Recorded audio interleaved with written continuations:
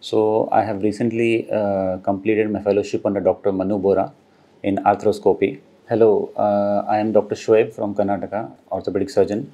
So here I have learned about the ACL reconstruction uh, using a quadriceps uh, graft, which is usually very rare and uh, very uh, latest technique, and that is done by an instrument called Quad Pro, and that is augmented with a procedure called LET, that is lateral extraarticular tenodesis, to uh, provide rotational stability. So I've also learned about uh, te- techniques of meniscal repair and uh, PCL reconstruction. And uh, for uh, patients who don't require surgery, like non in non uh, surgical measures, we have adipocyte derivative stem cell therapy, where patient's fat is taken and stem cells are prepared from that, and it, it provides very good results in patients with osteoarthritis and we've also learned about the shoulder arthroscopy, uh, like rotator cuff injury repaired with a double row uh, rotator cuff repair system.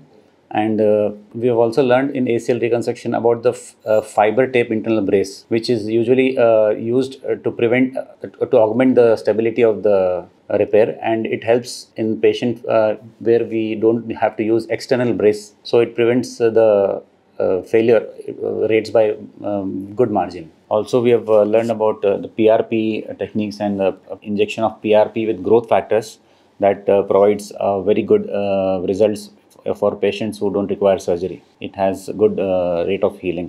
So I thank Dr. Manu Bora for uh, explaining all the things in detail and uh, we've learned a lot. Thank you so much.